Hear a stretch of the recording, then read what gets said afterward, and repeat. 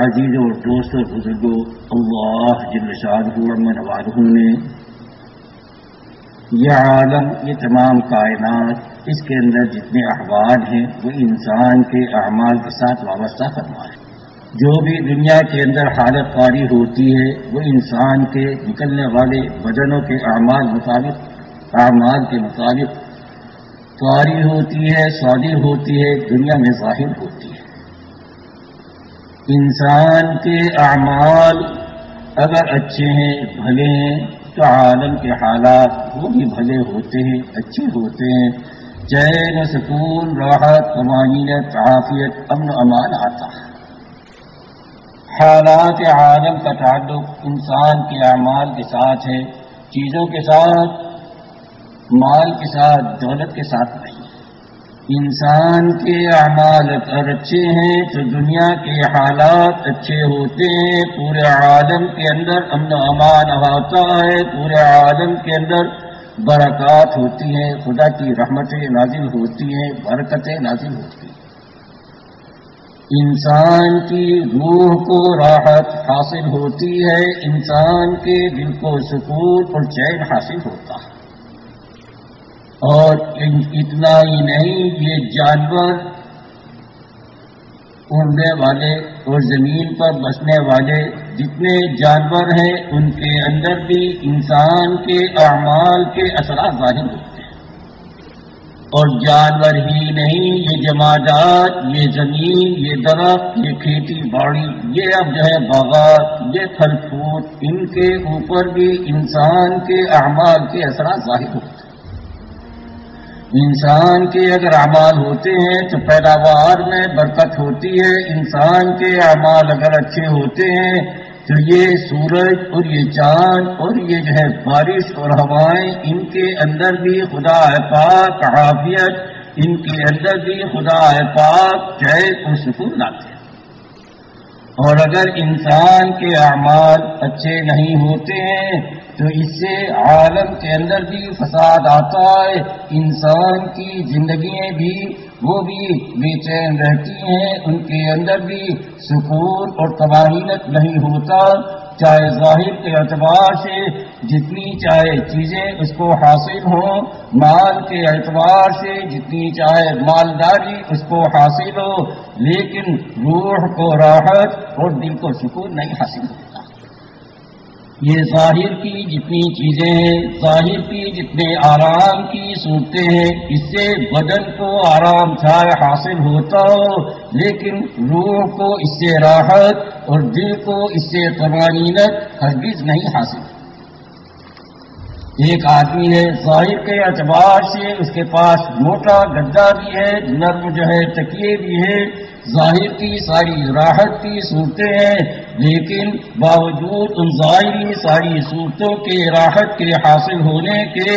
उसे नींद नहीं आती। तमाम रात जो है बेचैन रहता है, तमाम रात जो है करवटें बदलता है। हालाँकि जितने इसबाब राहत के हो सकते हैं, वो मौजूद है। कमरा भी गर्म हुआ हुआ है, लिहाज भी मोटा है, गद्दे भी मोटे मोटे नर्म नर्म है। और तकिए भी बहुत नर्म नर्म है, ज़ाहिर की जितनी सूरतें राहत की हो सकती हैं, वो हासिल हैं, लेकिन इसके बावजूद उसकी रूह जो है वो तिलमिला रही है, उसका दिल जो है मुस्तरब है, बेचैन है, क्योंकि इन चीज़ों के अंदर रूह के और दिल की तमानियत की सूरतें नहीं और एक आदमी है कि जिसके अमाल अच्छे हैं, जिसके भजन से शादी होने वाले अमल खुदा को राज़ी करने वाले हैं, जिससे नबी पाक सलाम के तरीके पर ज़िंदगी गुजर रही है, उससे ज़ाहिर के अतबार से बदन को चाहे राहत, बदन के लिए सामान राहत और बदन के लिए आसाइश की जाहिरी सूरतें न हो, लेकिन उसके रूह को और उसके दिल को ऐसा सुकून हासिल होता है कि ज़ाहिर के सामान वालों को उसकी हवा भी नहीं ऐसे ही मेरे दोस्तों और अजीजों और बुज़ुर्गों, अगर इंसान के अमाल जो है बिगड़े हुए होते हैं तो उससे जो है आलम के अंदर हालात में बिगाड़ आता है। ज़ाहिर के एतबार से जितनी चाहे उनके पास दौलत हो ज़ाहिर के एतबार से जितनी चाहे बड़ी हुकूमत हो, सल्तनत हो, लेकिन आलम के हालात के अंदर फसाद और बिगाड़ ही आता है, हमदर्दियाँ खत्म होती हैं, गमखारियों का जनाजा निकलता है, आपस के अंदर एक दूसरे की गर्दनें मारी जाती हैं, एक दूसरे का दुश्मन बनता है, अदावतें पैदा होती हैं वो आपस के अंदर वो ज़िंदा होता है। ज़ाहिर के सामान ज़ाहिर की आरइश की चीज़ें बहुत, लेकिन ज़िंदगी हजेरन बन जाती है और ज़िंदगी के अंदर आदमी को टाइम पास करना मुश्किल हो जाता है। वो उसके अमाल ही की बिना पर है। उसके अमाल पर खुदा पाक ऐसे हालात डाल देता है इंसान पर जब अमाल बिगड़ते हैं, इंसान खुदा के हकों का पाबंद होने की बजाय अपने अपने नफ्स का पाबंद होता है, अपने ख्वाहिश का बंदा बनता है। फिर आलम के तमाम तबकात के अंदर एक बिगाड़ और एक फसाद आता है, चाहे हाकिम हो, चाहे महकूम, चाहे मालदार हो, चाहे गरीब, चाहे मजदूर हो चाहे ताजिर कोई सा तबका हो, जब ज़िंदगी की राह वो ख्वाहिश को पूरा करना जी चाही पर चलना बन जाता है तो हर एक अपनी जी चाही के पूरा करने की फ़िक्र में रहता है, चाहे किसी का हक मारा जाता हो, चाहे किसी पर जुल्म किया जाता हो, चाहे किसी की गर्दन मारी जाती हो उसमें इसकी कोई परवाह नहीं होती। बस वो अपनी जी चाही के, पूरा करने ही के फ़िक्र में रहता है, जिससे आम जिंदगियों के अंदर बजाय अमन अमान के लड़ाई झगड़े, बजाय हिफ्स के और अमानत के, उसके अंदर खयानतें बददियानतें और दूसरे के हकूक का मारना, एक दूसरे के ऊपर जुल्म करना, ये फिजा होती है, पूरी इंसानियत के अंदर एक बिगाड़ आ जाता है। और खता माफ़, आज की ज़िंदगी इसका खुला मुशाहदा हर शख्स देख सकता है। घर घर झगड़े हैं दर दर के ऊपर फितने हैं, बाप बेटे का, बेटा बाप का, भाई भाई का, बीवी खाविन की, खाविन बीवी की आज जो है, दुश्मन बनी हुई है। ये हमारे अमाल की बिना पर और हमारे खुदा पाक के हुक्मों से गाफिल होने की बिना पर यह हालात सारी हैं, पूरी इंसानियत पूरी इंसानियत।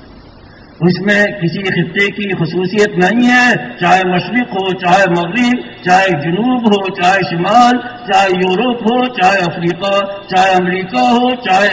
एशिया, चाहे ऑस्ट्रेलिया, हर जगह पर यही दौर दौरा है, यही ज़िंदगी की हवा है, आज जो है चैन राहत, आराम, दिल का जो है, वो हमारा मफसूद है, वो आज गुम हुआ हुआ है, वो आज हमारे हाथों में नहीं क्योंकि आज इंसानों के पास अमाल की अहमियत नहीं है, जितनी चीज़ों की अहमियत हो गई है, अमलों के बनाने की, खुदा के हकमों पर चलने की इतनी फ़िक्र नहीं है, जितने अपने नस की मान कर, अपनी जी चाही की, पूरी करने की जितनी फ़िक्र आज दुनिया के अंदर